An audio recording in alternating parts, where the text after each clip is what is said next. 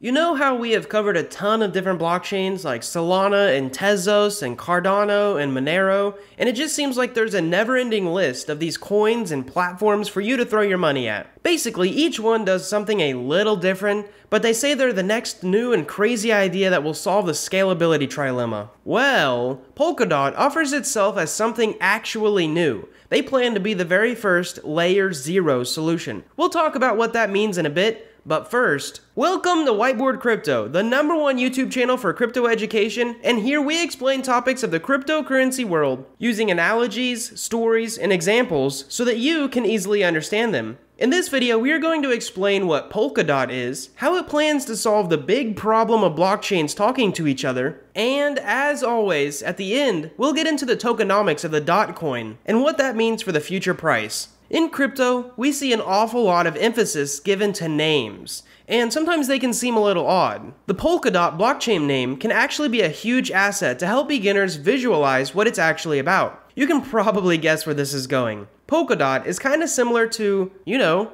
polka dots. The fabric pattern featuring a blank background with scattered dots is a good starting point to visualize this project. That's because right now, crypto is a little unfriendly. We have a lot of these competing projects doing similar things using similar blockchains working in isolation. Each of these blockchains can basically be seen as one individual dot, but that's just the start. The reason Polkadot is important is because it lets us connect all these chains with each other. So imagine you have this huge field of polka dots, but you could actually draw lines in between all the dots and start to connect them. Each dot would represent an individual blockchain, and drawing lines between them all connects all of these different projects. Now you might be wondering, what problem does this actually solve? Well, one of the biggest problems we constantly see in the crypto space is a lack of what they call interoperability. The problem is like the problem in early personal computers before we even had the internet. We have all these blockchains hanging out like stars in space drifting around without any actual way to interact with each other. Polkadot is basically a way to make it easy to create and connect blockchains to each other. Along with our example, computers were great, but the ability to actually send and receive information between two different computers really got people on board. Polkadot is betting that the same thing is going to be true for blockchains. Bitcoin and Ethereum and Cardano and all the other big chains might be great on their own, but they need to be able to interact with each other easily. This is where we get into the Polkadot blockchain, which actually serves as what they call a layer zero function. Think about it like a neighborhood. We have our little crypto neighborhood with all our blockchains basically like individual houses. But how do all these houses all get electricity, water, and roads so that they're all connected? Polkadot wants to get even more fundamental than layer 1 individual blockchains and just give them an easy way to connect them all together. This layer 0 foundation is intended to make building and using blockchains easier. So now we kind of understand how it works, how does Polkadot actually work? At its core, Polkadot is just a proof of stake blockchain that connects other blockchains to each other. They're all connected, but how do they actually become connected? How do they maintain their connection? And what does being connected actually do for those blockchains? We're going to answer each one of these questions by talking about two main components of Polkadot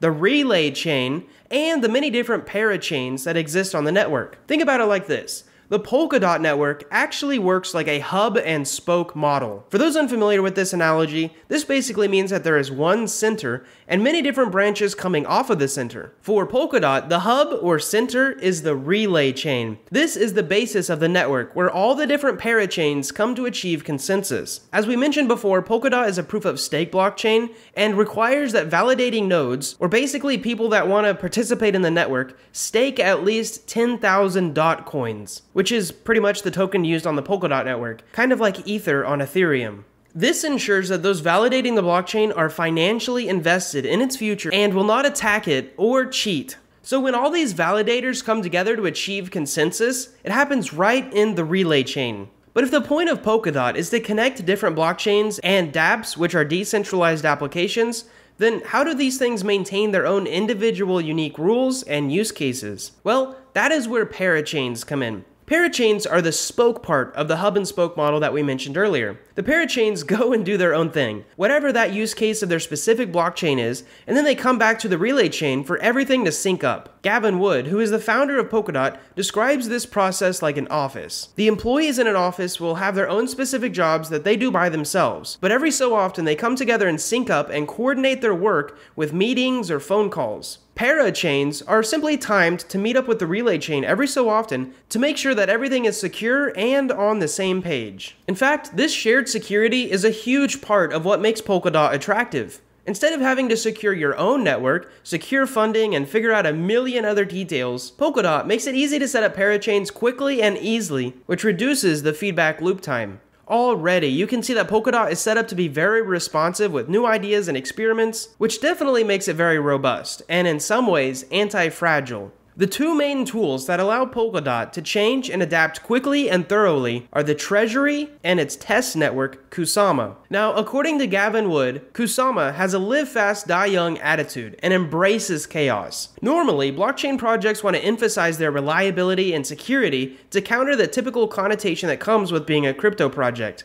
Now, this isn't to say that Polkadot is not reliable or secure, but that they recognize the time and place for experimentation and adaptation. Let me make it simple for you. Kusama is basically a practice network. Now, actually, a lot of blockchain networks have things like this where users can test different things before they actually get launched on the real network. The interesting thing about Polkadot's test network, Kusama, is that Kusama has real stakes.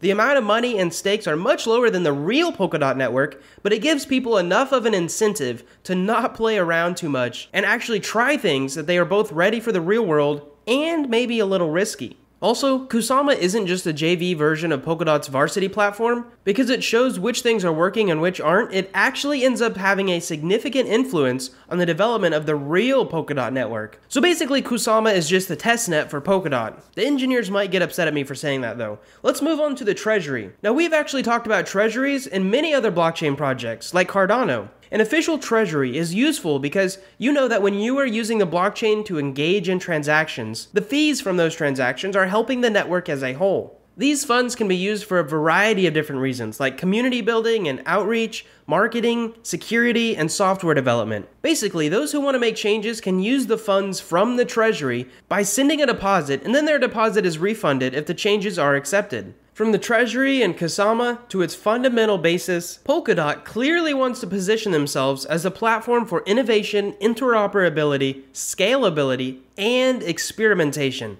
To me, it's actually a fresh idea in the world of crypto that may end up being the idea that ties everything together and actually creates a massive interconnected crypto ecosystem. I know that sounds crazy, but it's probably the best way I could put it. Personally, I'm quite curious to see how this all plays out. Oh, and as we end this video, we wanted to let you know about a secret project that we've been working on. If you're new to the world of decentralized finance or want to learn about how to make money using cryptocurrency, we actually recently put together a guide for beginners that pretty much explains important ideas and very simple topics. If you're interested, you can grab a copy of that guide for free at whiteboardcrypto.com, but you don't have to if you don't want to. Anyways, thanks for watching. We hope you enjoyed this video. We really hope that maybe you've learned something. And most of all, we hope to see you in our next video.